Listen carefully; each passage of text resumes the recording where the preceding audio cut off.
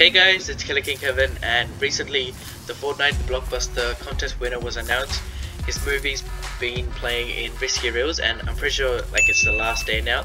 And there's also posters. Fortnite tweeted this, and if you go on the patch notes, it even says uh, like the Blockbuster contest winner, and it's a link to his YouTube um, like channel and the, like the video.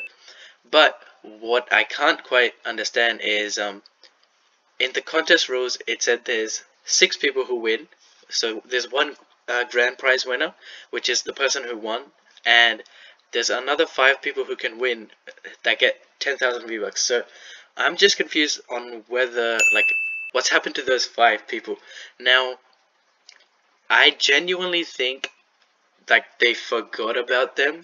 Like, I don't know why, like, it, it sounds weird, but you, you don't expect someone to, like, you know, forget everyone else, but I just feel like they've forgotten because they actually picked this the winner of this contest three weeks ago. So, and it would be pretty weird for them to announce the winner and then after like a couple of days announce the other five, you know, uh, second place to sixth place, which is weird because like after they announce the winner, it's pretty much like yeah, you know, they did well, but this guy won. So I don't know. I'm kind of confused. If you guys know anything about it, um, tell me if you guys know any information on this just put it in the comment section.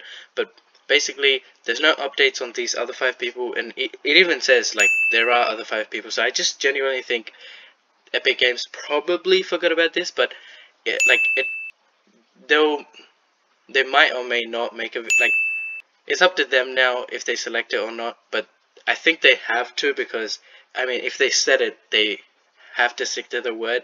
And I mean, it doesn't make a difference if they, you know, announce it a few days later, but it, it's just weird announcing the winner and then the other five people who didn't win, basically. like, they got close, but yeah. So, hope this video helps. Hope you guys enjoy. Don't forget to subscribe, like, and comment on this video.